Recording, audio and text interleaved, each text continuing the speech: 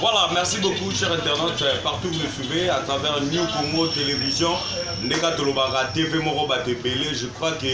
Eh, mwa batemp ebele bozomona fils kabeya te eh, na cadre ya boulot mwa déplacement tolai libanda na mboka mpona kokeka korenforcer capacité na baboulot na biso bachiki ya communication toujours eh, toya mpo tomeforme no voilà merci na bandeko tu mpona confiance epuis fidélité boopesa biso merci na beni matondo enga salutation ya doba sadisa merci ya onilumoni bokotuna su cette fois-ci bobi fils kabeya afandi peme na tonto moko babeta masolo nini donc aza tonto boyebi alekaleka mpe mingi awa apesa makambo par rapport ya bamakambo donc euh, il s'appelle liverpool mais cette fois-ci tozoka bakombo babenga bakombo ebele basoka mobenga ye mpe saute mouton basoka babenga ye papa zero donc toyeba te ye mondo ameka mpe ospike puis alati t-shirt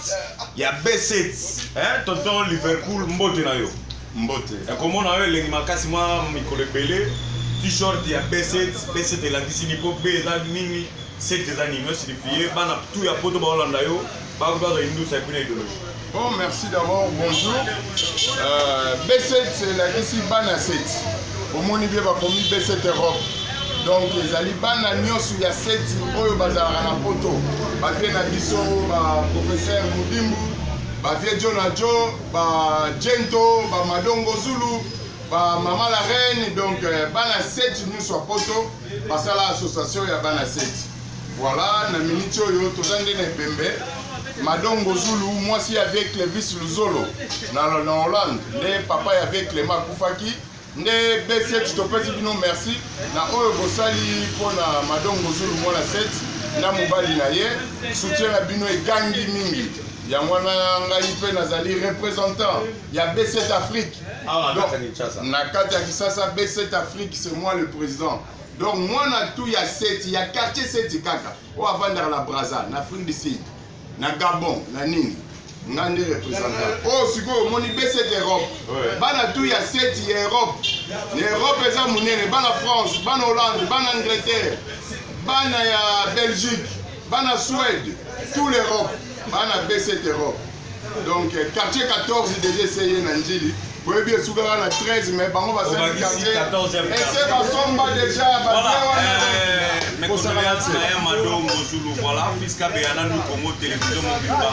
bato basalisa babeni matondo bamedina ya ndombe ezolela toujours na yo merci mpo na bainitiative ya kitoko boye me ndeko na nga bana poto ebele bato lokola bape na nga bapepe tazi bazolela babi baza na bino d'accord eh, baolela mpe na bino mpo na liwa ya papa na biso atiki biso mais bamoni mwa bokabwani pourkoi koassocie bana ndikimisi ndenge boluka koassocie bana seti merci oyo ezali b7 bana seti bana quartier 4 mpe bazali bana 1 mpe bazali me na kati ya bana cango association ya bana cango biso nyonso tokutanaka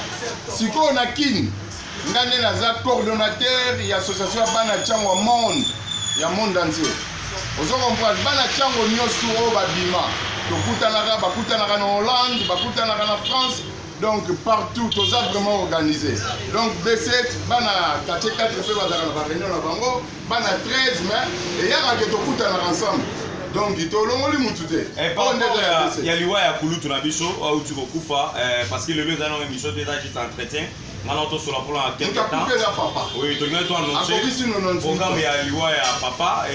olance mpe message na bana poto nyonso baolanda yo oyo baza na kin corps ezala wapi ekobima corps esi ebimi lelo corps ebimi lelo tokokunda lobi ezali na nsima bonsomi na quartier 4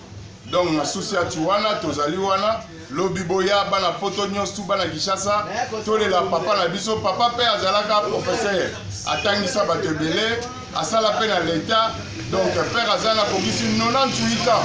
yaka lela kolela père mpo na kufi te lela papa mpo na lupemba ya 98 ans mpe lata yo biso baoyo toyebi te soki tokokoma na baage wana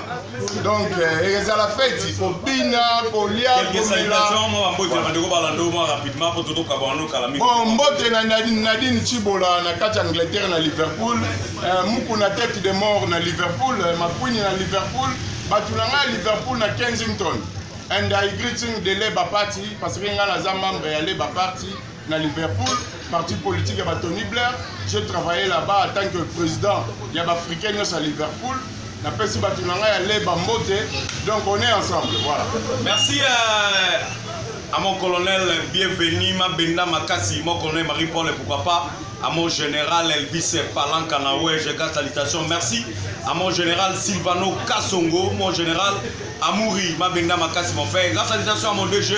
Papa Jacques Matondo, euh, Benny Matondo, toute la famille Matondo. Merci Nado Basadissa et pourquoi pas na staff ya club de ligue, hein, club de jeunes stratèges. Bango tout ba tellement belé moi natanga ba kombo yate. Merci à l'honorable hein, Kage Foudre. Ton ensemble quand on va lui au revoir on se retrouve au prochain. Zela zela na. Eh oui rapidement pesa mbote pona dénoncer. Ah bah ouais. Kala ko na yo pesa mbote. Na pesa mbote na général patience, na général Kachale, papa na biso